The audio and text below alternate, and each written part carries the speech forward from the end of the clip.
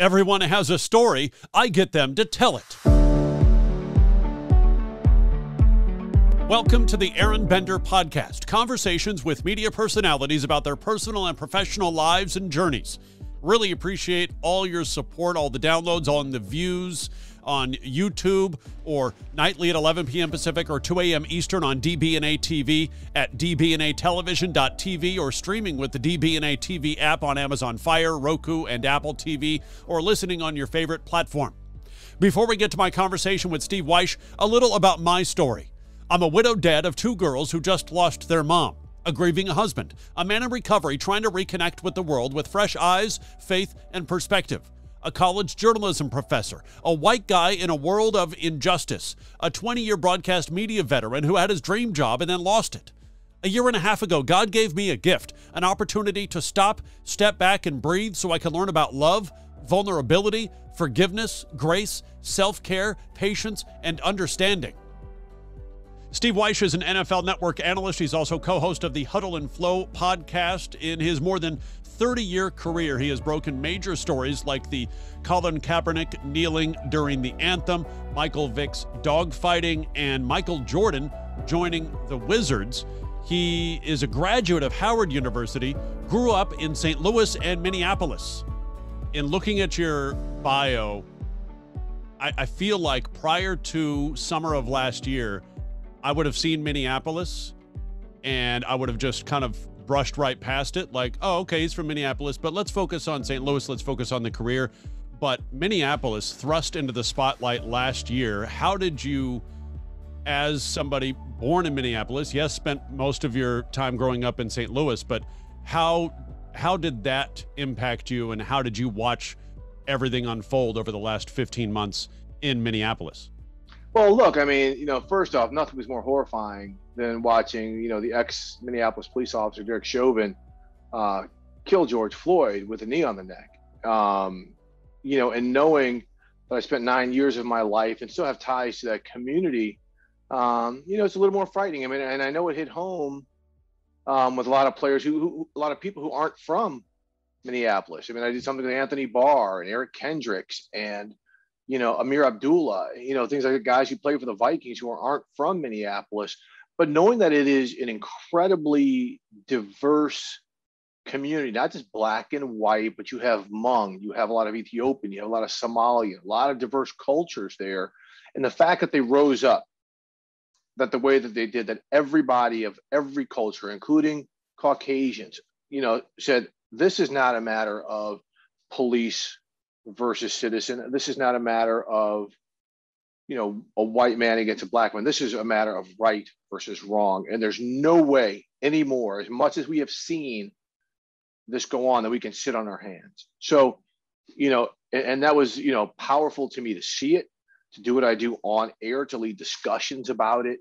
Um, because we've seen it a million times. It just this just happened to be in Minneapolis. But you know what, Philando Castile happened right there in the Twin Cities as well in 2016. And there wasn't this uproar when he was shot in his car next to his wife with his child in the back seat. And the only uproar that came from that is when Colin Kaepernick decided not to stand for the national anthem. And, you know, now here we are five years later. There's a lot of people who couldn't vote back in 2016, who were 14 years old back then and really didn't know what a whole lot was going on in society they were the ones in the street, right? They were the ones leading the charge, and you know it, it was it was very impressive to see. Um, I think that the judicial system um, finally playing out, you know, it's you know proper jurisprudence. Uh, even though Derek Chauvin, you know, the 22 years he got uh, probably isn't enough.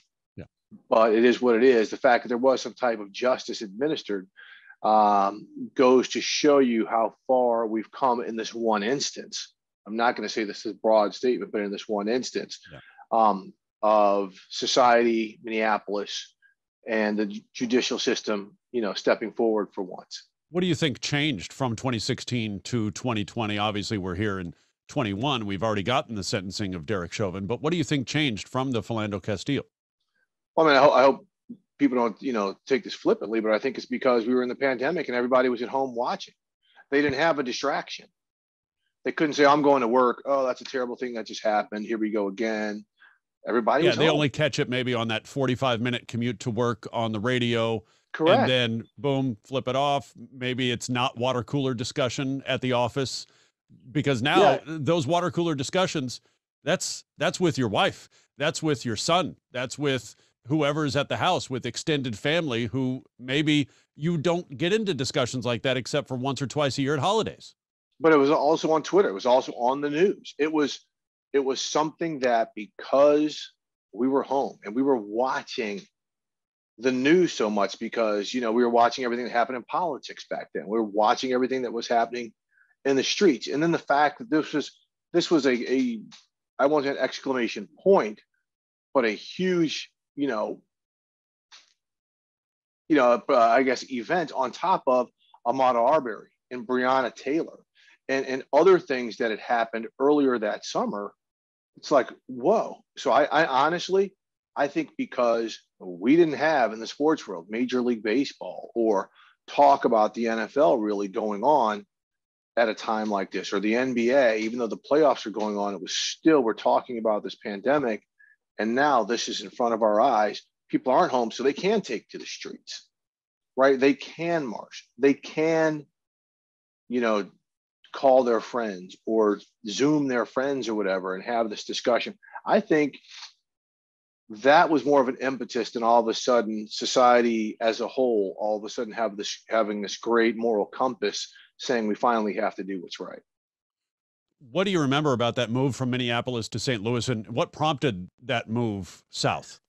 well i was nine years old um, when that happened and that was my, my father he had worked at general mills you know that makes all of the the cereals and things like that. He got a job uh, in St. Louis, and so we all we all moved down to the Midwest, uh, and it was a it was a big change for me. Um, it was a city where uh, where we lived, where we first moved. You know, where I lived in Minneapolis, there were people of all races and, and things right there in North Minneapolis. And where we moved to St. Louis, you know, our family was it. We were it in terms of uh, people of color and to a lot of people, especially at that age, I, I, was new to them. I wasn't on TV. I wasn't, you know, the, the image of what they saw on TV. So a lot of people were curious. A lot of people were mean. Got in a lot of fights. Took no L's, by the way. Um, thank God it was big. you know, they thank God I still had some of these when I was little. Um, but yeah, it was different. But no, I, I, it was a great. It was it was a great place. You know, eventually, it was a great place to grow up and learn a lot of life lessons. How did you I, I don't want to put words in your mouth to say, oh, there, there was some resentment that grew out of that because you're like, hey, we we were doing fine in Minneapolis. Why do we have to up and move? So I'll, I'll ask first: Was there any resentment for your your father, for your parents picking you up and moving and putting you in the situation where it's like, oh, wait a minute, I wasn't getting any fights in Minneapolis. What the heck?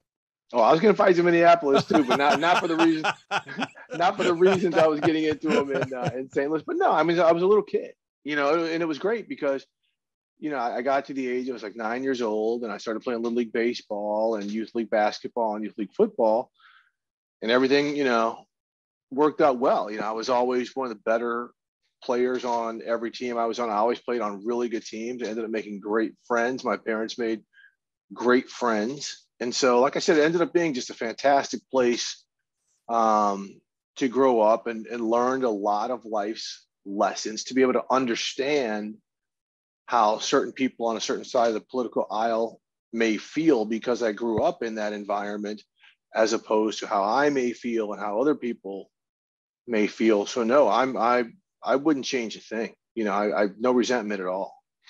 Uh, sports wise, you, you brought up basketball. You brought what what was your favorite growing up?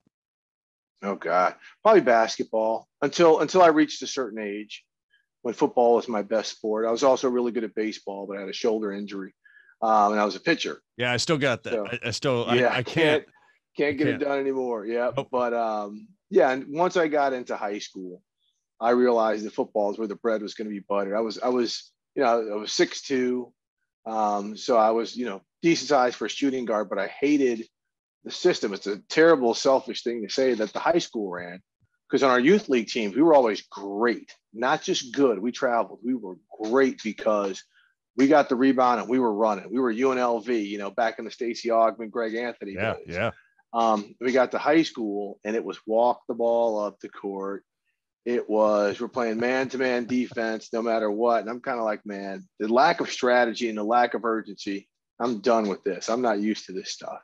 So I was I was a little selfish, a little baby, but you know, it helped, helped me focus more on uh, on baseball and football as well.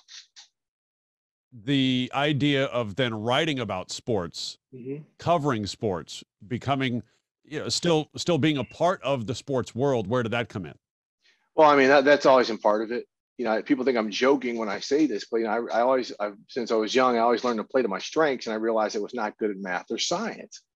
And so I knew if I was going, to, as I got older, since I was good in the language arts, is what we called it in high school, and then English is what we called it in college. Since though that was a strength of mine, and I was a good writer, and I was an avid reader, um, you know, I just really got into the writing aspect of it. Our, our, high school had a really good newspaper, so I was first a reporter, then a sports editor, then the editor in chief of the high school paper.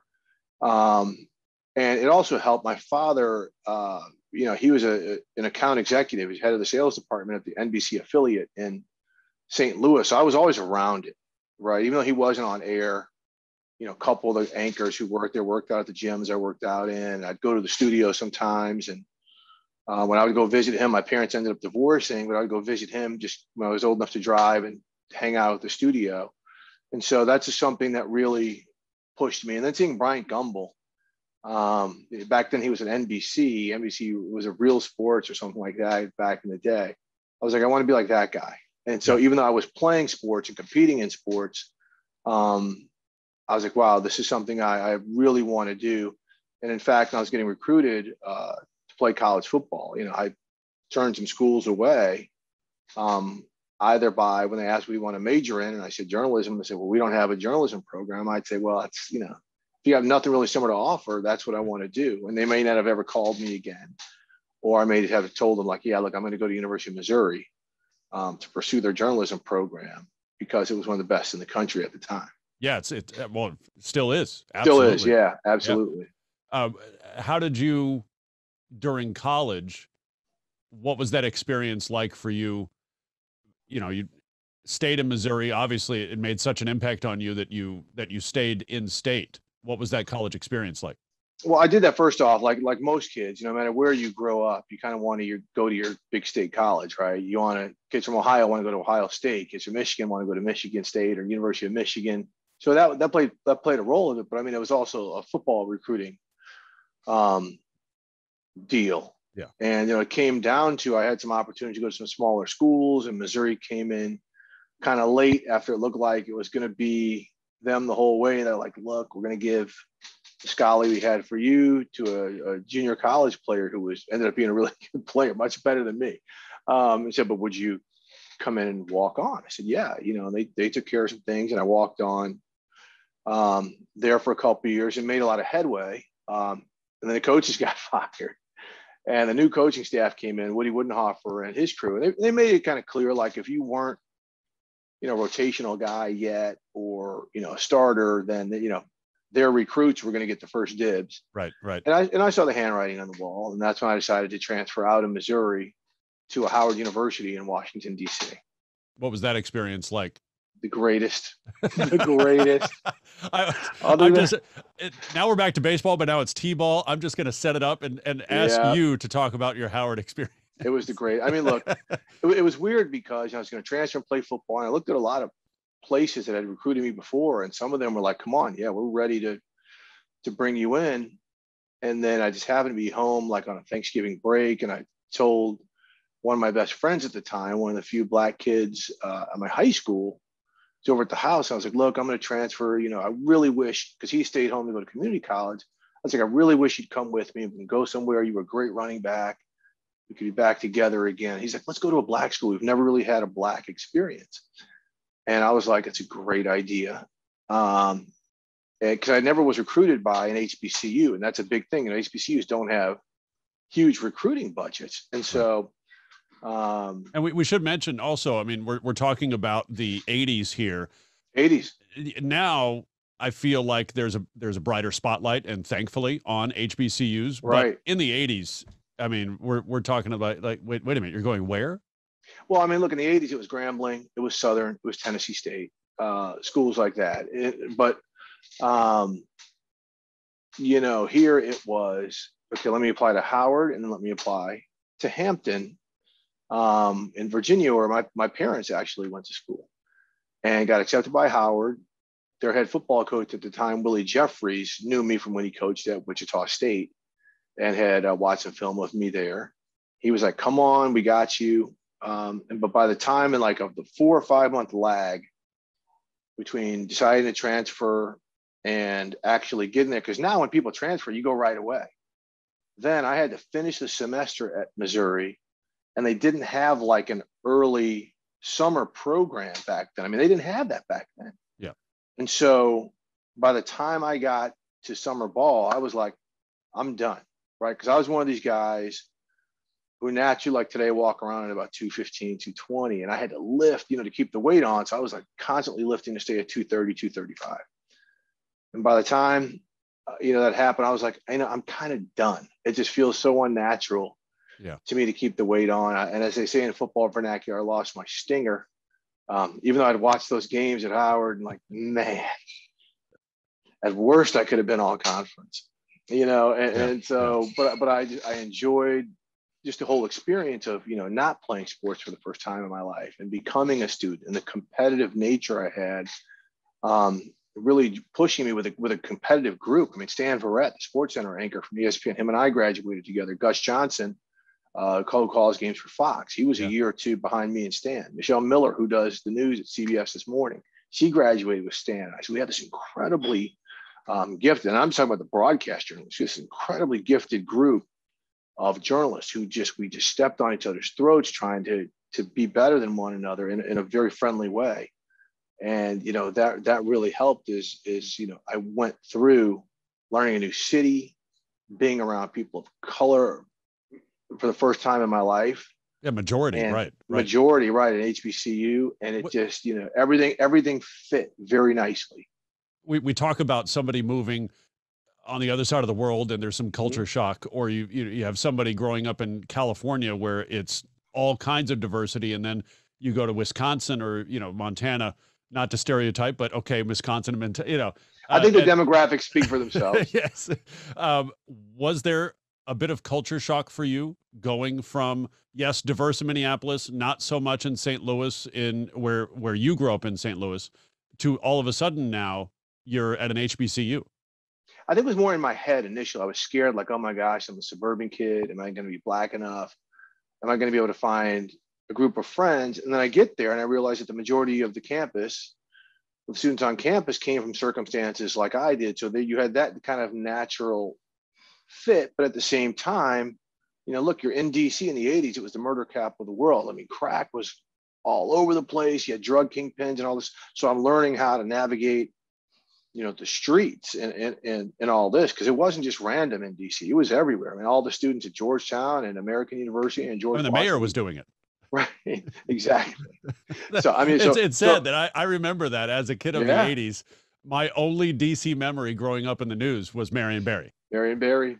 Yeah. So I mean, so you had all of the stuff that you were kind of navigating, and as I tell people, you know, I, it, it made me a man you know, I went there as a transfer. So I was like 20, 21 years old anyway. So I was older than a lot of the people who were coming in with me initially. And so within a week, I was like, okay, I know how to kind of navigate situations I've never dealt with before. I've kind of met a group of friends from St. Louis who are helping helping me guide through this.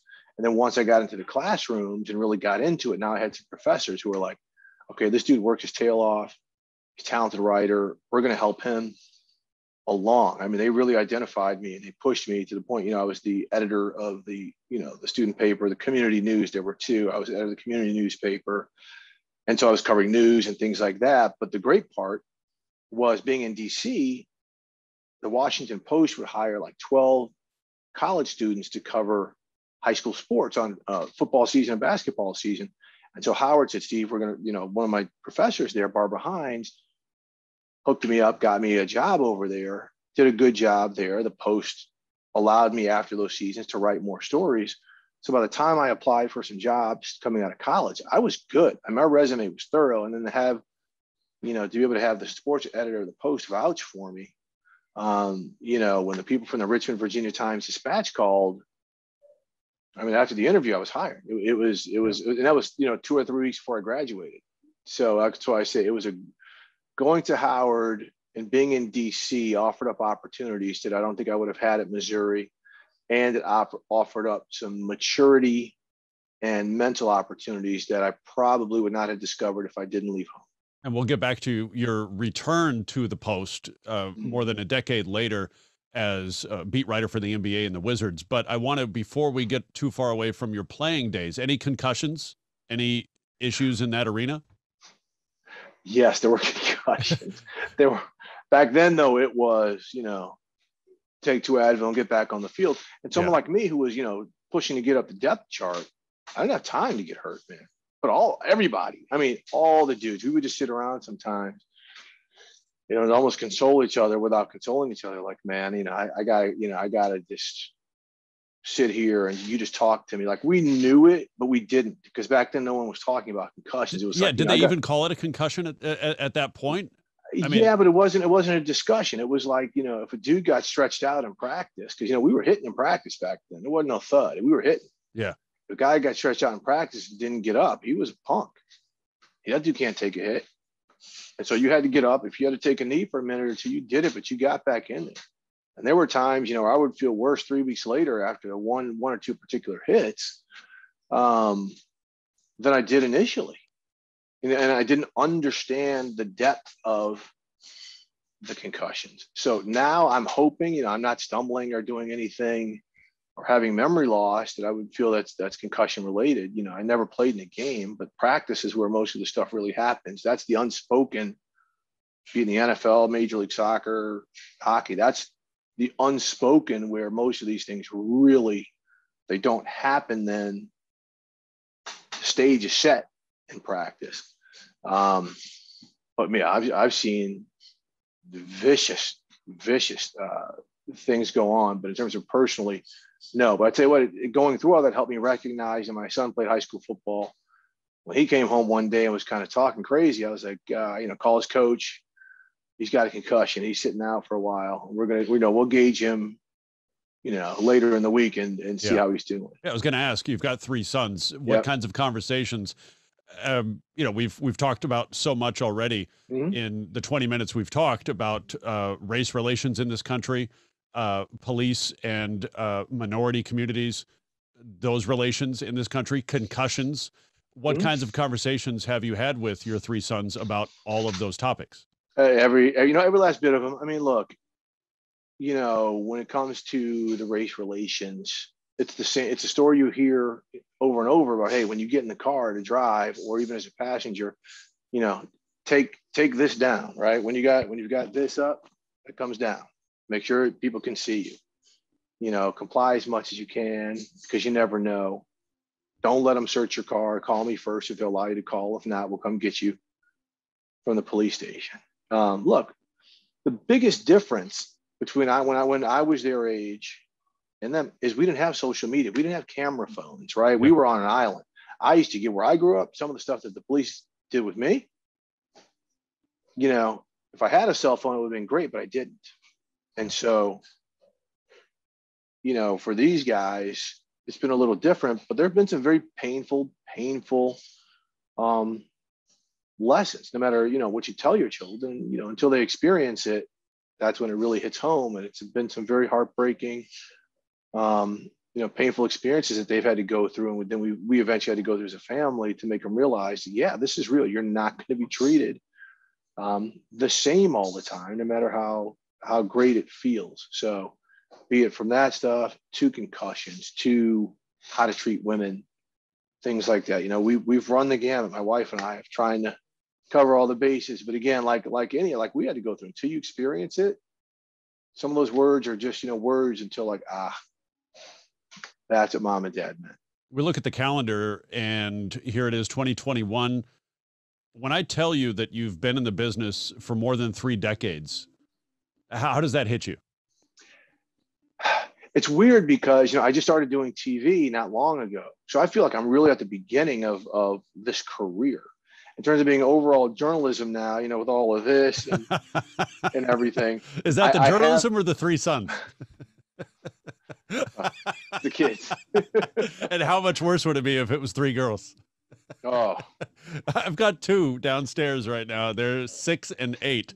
And, oh my goodness! Uh, just the the gray just on the sides already uh, and in the beard. I I pressure, the peer pressure, eh, you know, that they went through, and I'm just like, but the girls, because I've got a 14 year old niece, peer pressure is insane. So it's yeah. it's got it's it's it's an interesting ride. Um, but yeah, I mean, look, I've accepted the role as kind of the sage. My whole purpose now, besides informing and educating and, and, and, enlightening the audience that I serve as a writer and as a television broadcaster is to lift up, is to bring, I mean, any college student that DMs me or whatever that wants to talk, or I, I'm I talk to them because I'm not going to, you know, I'm going to age out. It's not like I said, I'm just getting into this, but I'm 55 years old, and some just, you know, the network could be like, okay, just because of your age, you're done.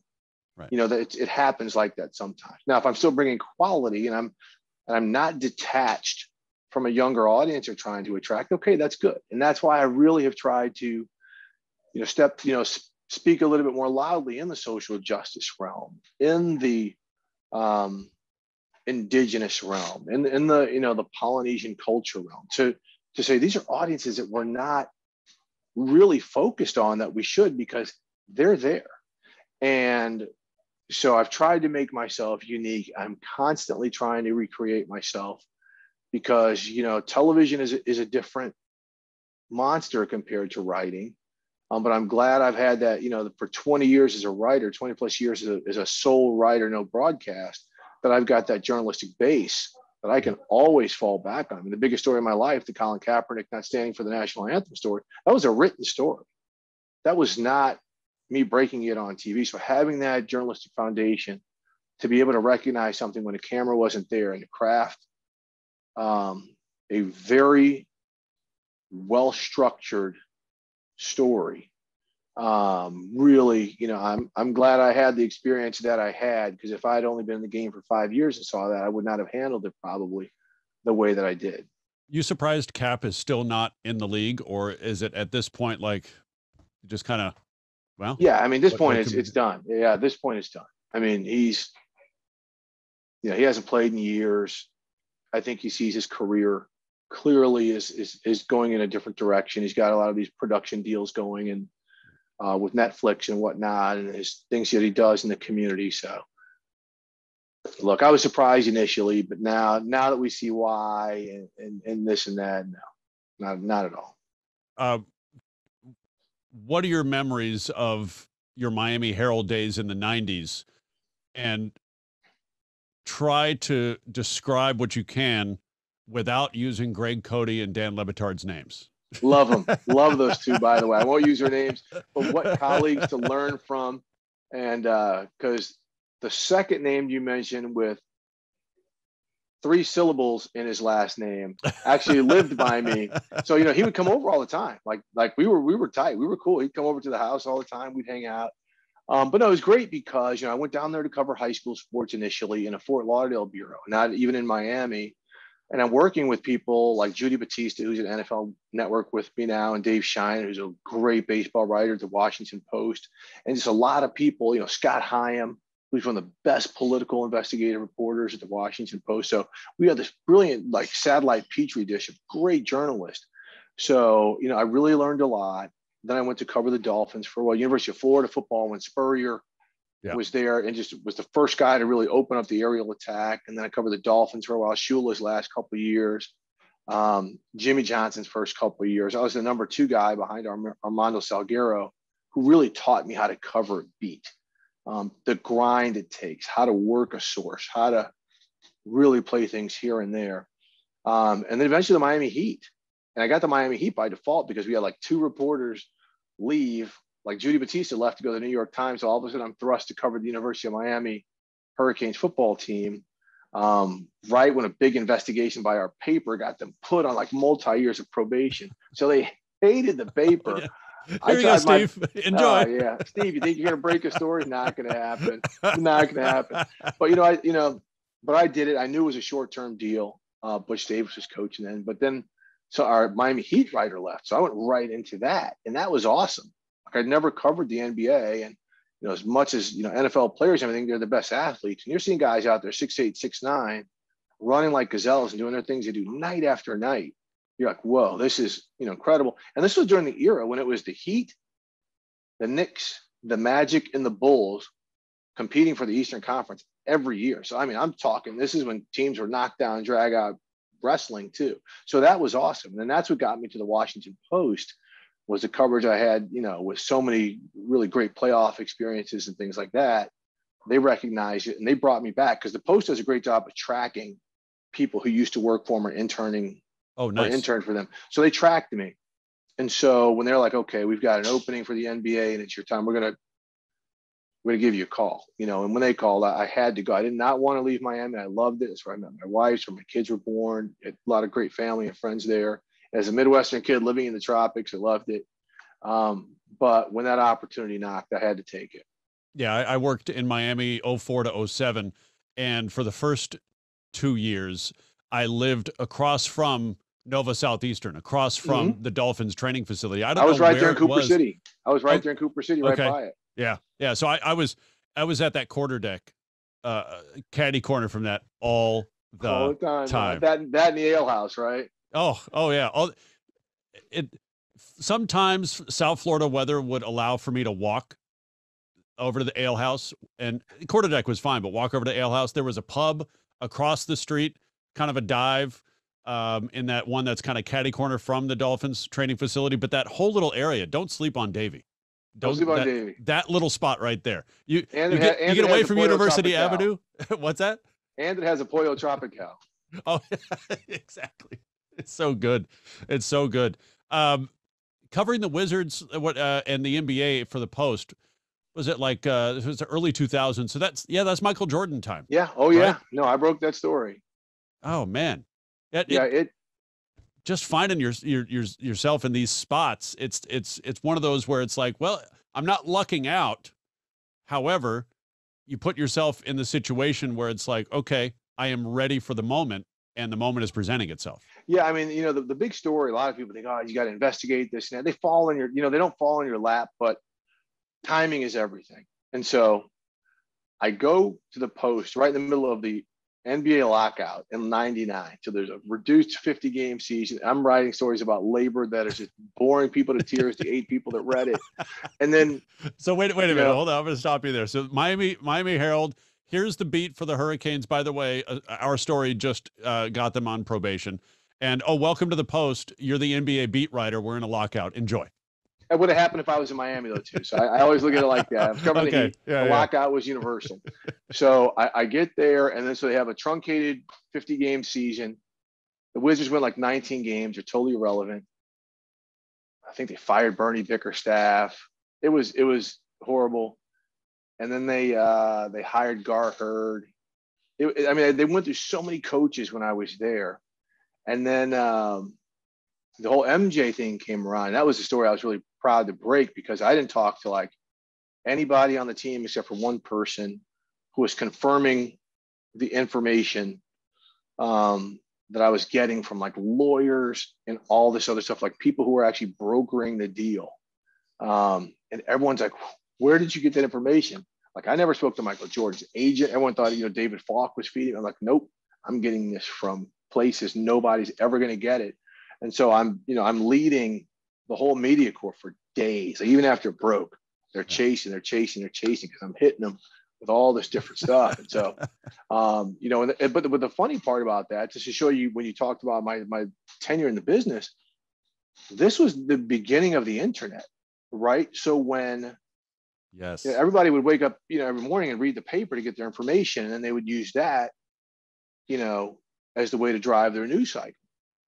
And so we were, that was the Governor Wizards game in Indianapolis. And at 11 o'clock Eastern time, right before the local news broke, they posted the big headline Michael Jordan coming to be the basket, head of basketball ops and part owner of the Wizards.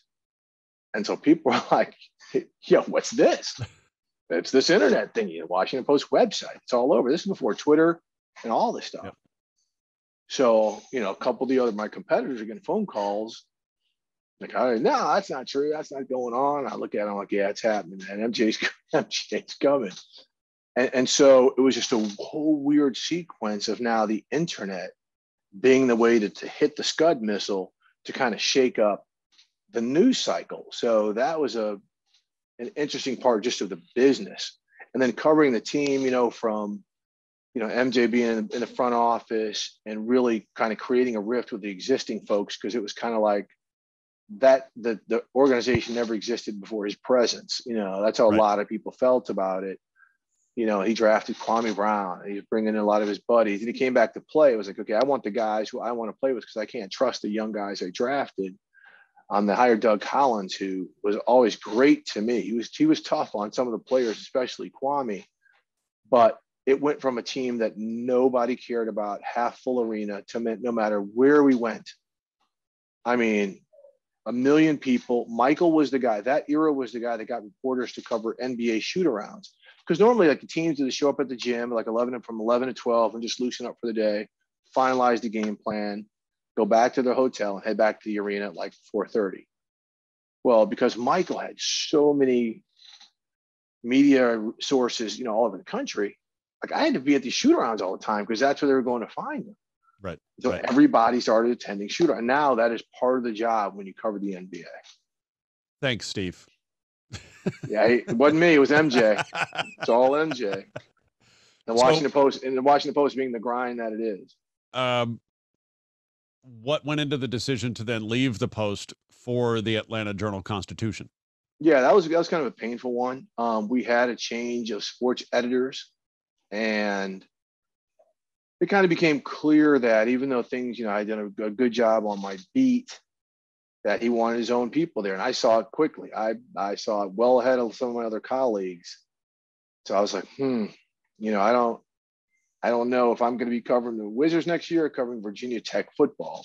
Right, right. And, um, and so, and it, it was just dumb luck that my old assistant sports editor in Miami just calls me up. I'm in Detroit covering a Wizards Pistons game hey, look, uh, I'm taking over the sports section in Atlanta. I want you to be my first hire. And at some point, I want to get you back on the NFL. I said, your timing could not be better. and, so, and, it, and, it, was weird because you know, I went down there to actually to cover Georgia Tech hoops because they had just come off of playing for the national championship game with Jarrett Jack and that, that group of people. And it was going to be a temporary thing, but I was prepped for this interview to go back and cover Georgia Tech hoops. And I get, I am in the building. And this guy comes out and says, a job's no longer available. I'm like, what are you talking about? I mean, the Washington Post is offended that I'm taking this interview. And I'm sure they've already made made some calls to find my replacement. Like, yeah, we want you to cover Georgia, University of Georgia football. That's the biggest beat of the paper. I'm like, I can't, I can't live in Athens. That's an hour away. You know, I can't do that. You know, my wife works at the airport. I, you know, okay, live halfway. Uh, you cover it for a season and let's see if anything happens. I covered it for a season. It was actually great. You know, Mark Richt was the head coach, one of the most incredible human beings I've ever met. They had this great team with David Pollack and Odell Thurman and all these guys, you know, Thomas Davis, all these guys on to play in the NFL. Um, and um, that following year, they I don't know if he got fired, got replaced, but the Falcons beat writer was no longer on the beat. They put me in. And so that's how I got back to covering the NFL and covering the Falcons. And, and I love, I love that. I was, that was a really, really, was a tough beat. It was a different beat because it's a one newspaper town.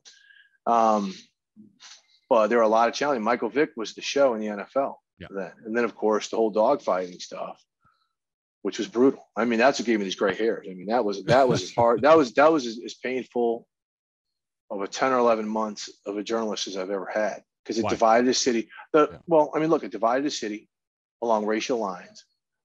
It divided the city along cultural lines because a lot of rural people saw nothing wrong with dogfighting. That's just something that they did, and other people were just so completely offended by it. The majority of people were so completely offended by it, including myself um, especially because you know we had sources again. Me and my partner Daryl Ledbetter, who still covers the team, um, had sources that nobody else were going to have. You know, legal sources, other sources that knew the real dark underworld of dogfighting. So a lot, a lot of stuff I wish I didn't know. Yeah. Um, but you know, it was it was a really painful thing because I mean, citizens, the, the readers that they were just killing, they were killing me and Daryl. You know, we're two black or we were two black reporters from Howard. Um, and I mean, we were just getting murdered. Like we're picking on Mike Vick, and the whole time we're knowing like he is going to get in trouble. This is, you know, but so much of the stuff was off the record. Yeah. Um, but I mean, people had flipped on him early in the process. It, it was really ugly. And then, you know, I knew Mike. I had a great relationship with Mike, and I'm like, damn, this guy's did he did this? You know, I, I just couldn't believe it. But at the same time, I'm like, I got to believe it because, you know, I've got information that says so.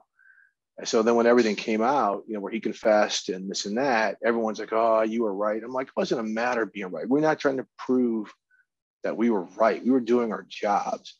If you feel guilty, that's on you for judging us.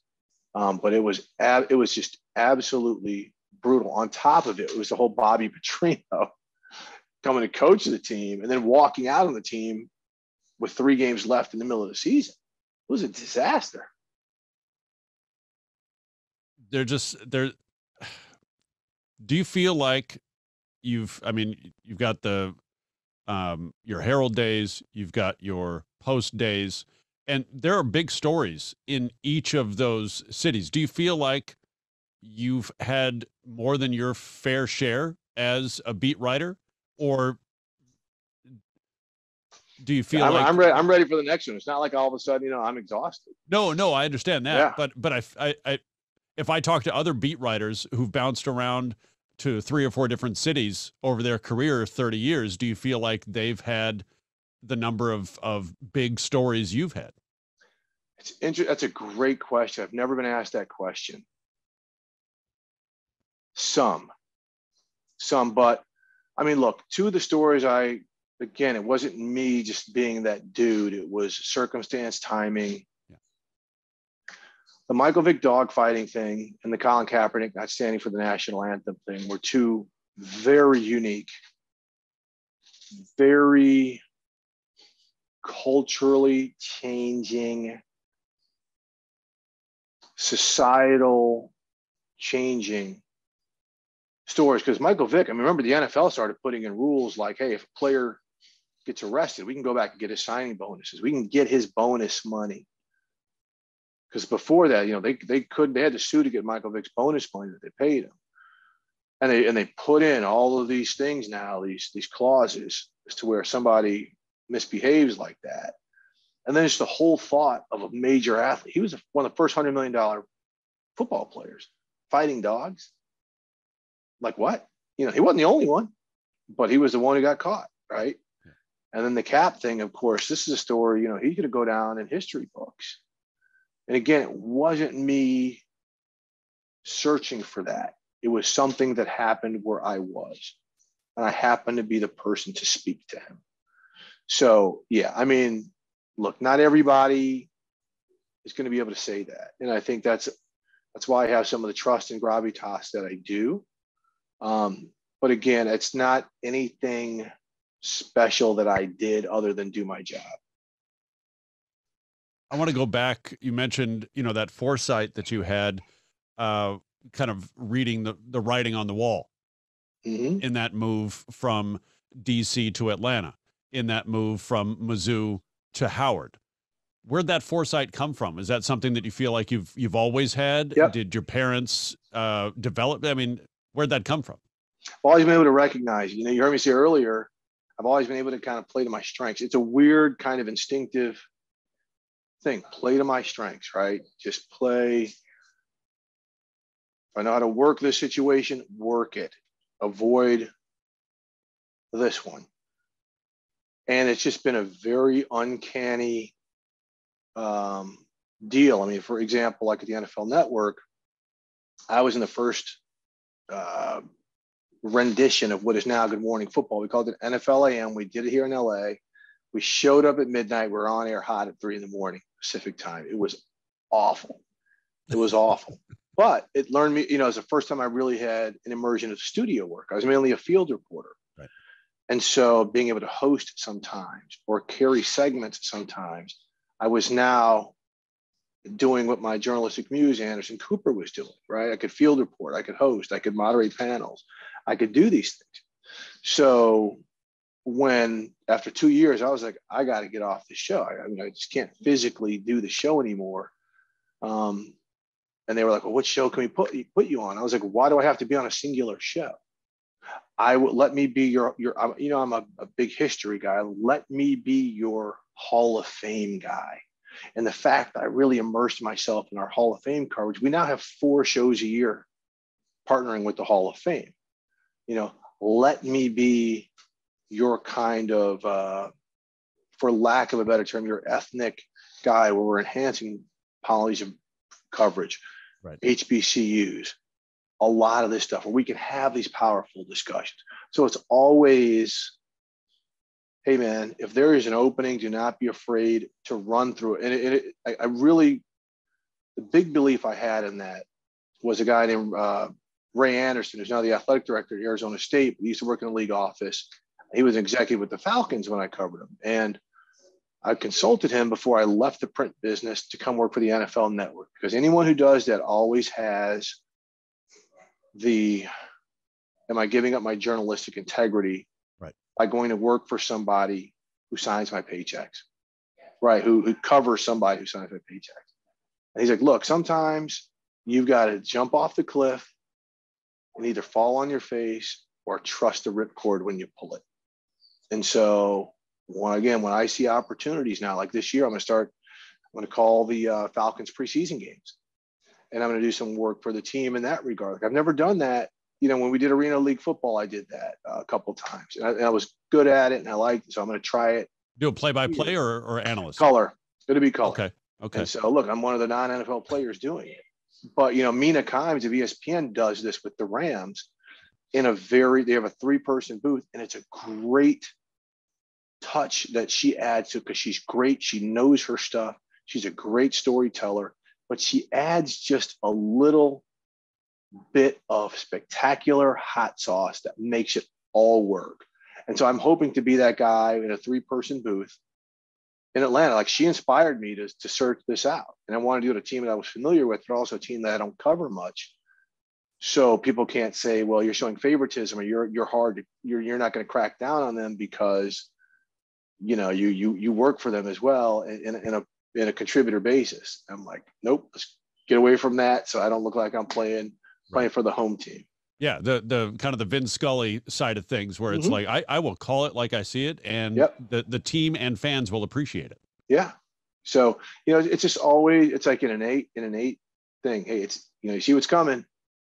You see what's coming. I live in I live in a neighborhood here in LA that is just gentrifying overnight.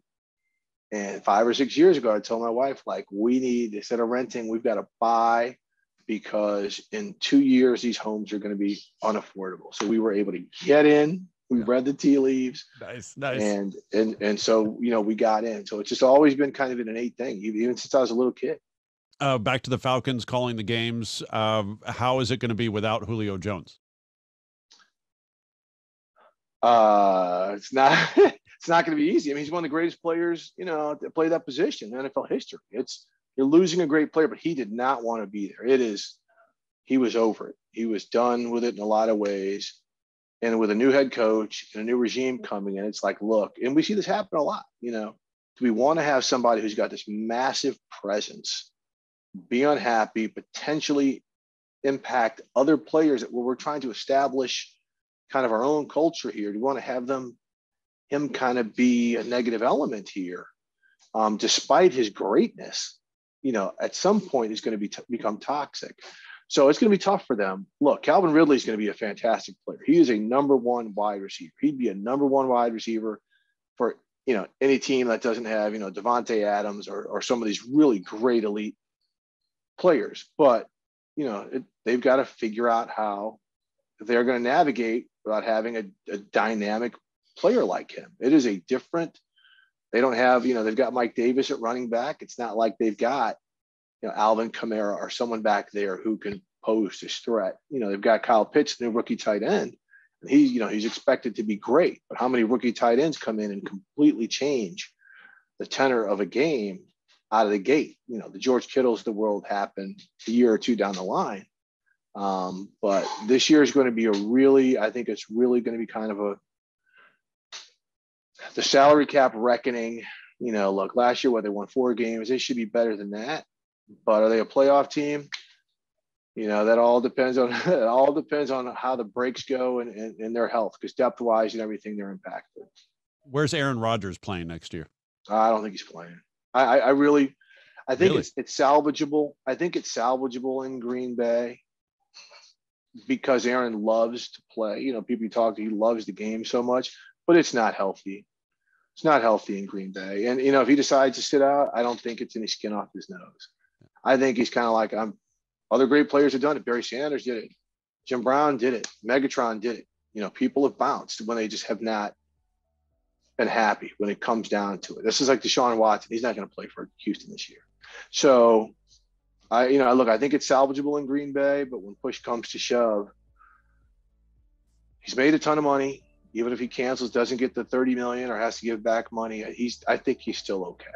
Yeah. Oh, yeah. I think so. I think so. Je- Jeopardy is always there, right? Jeopardy is always there.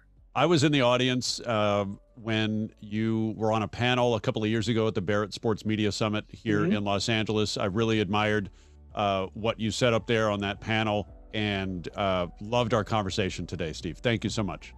Aron, fantastic job. Really appreciate you. Thanks for watching the Aron Bender podcast, whether it's on YouTube, IGTV, or DB&A TV, streaming online at DBandAtelevision.TV, nightly 11 p.m. Pacific, 2 a.m. Eastern, or the DB&A TV app on Apple TV, Roku, Amazon Fire, or listening on your favorite platform. Thanks for watching. Be well.